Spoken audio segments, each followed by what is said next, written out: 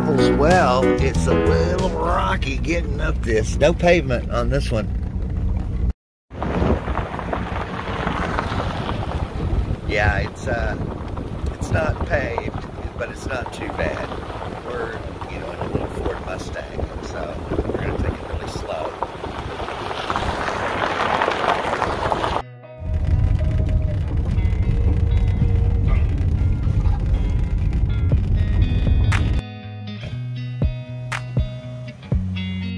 Okay, this is as far as the little red would make it. So now, walk-in visitors. No vehicles beyond this point. And this is the way we go back to whatever's back in the Devil's Well.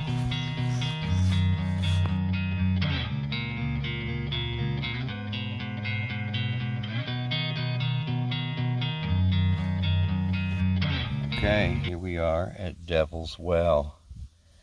This was an early research team that was lowered down. But there's a 17 foot canoe down in there. There's no way out but this way. And so it's basically a big underground lake. As you can see by this schematic. We're standing right on the edge right here. And right down there is the sinkhole. Let's check it out.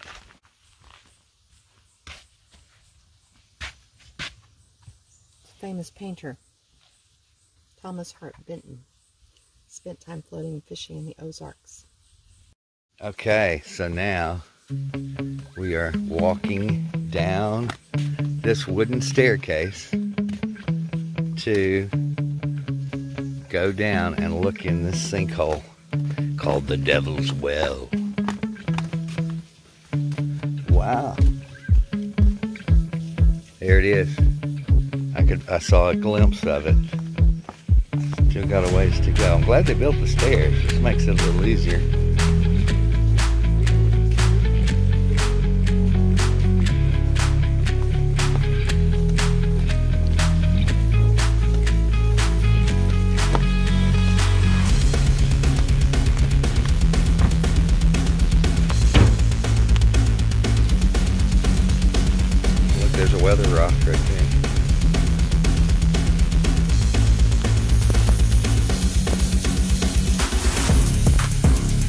Not quite all the way down.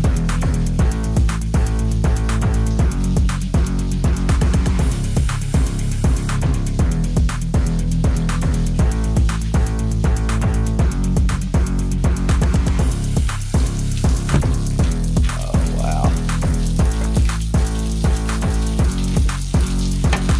Oh, water just leaking down here.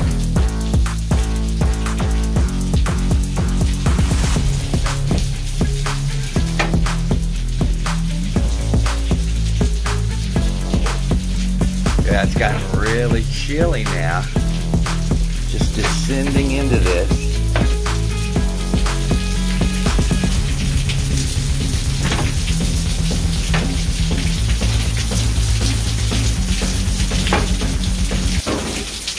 So the lake is right down there. Okay, I'm gonna hold my camera as good as I can.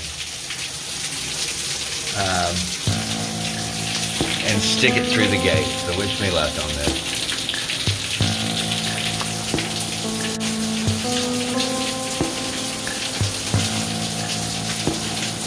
Oh, it's the wrong one.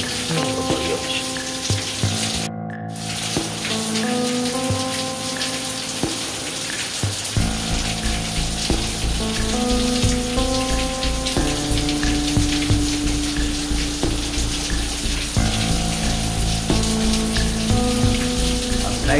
Devil's Well.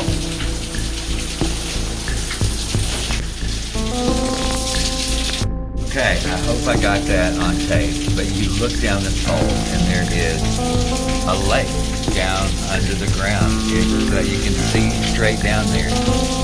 Very unusual, never been in a place quite like this before. And if you have the gumption, you can take a 4.6 mile hike down to Cave Spring, which spills into the Current River. But we'll save that for another day.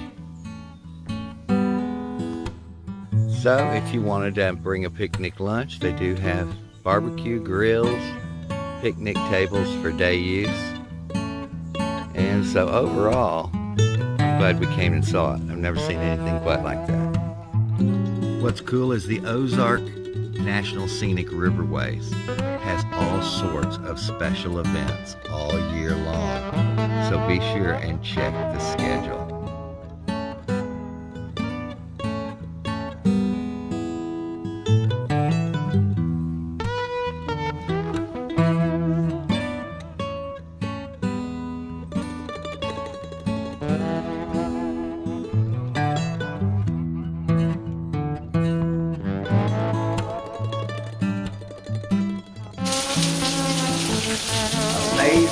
Well.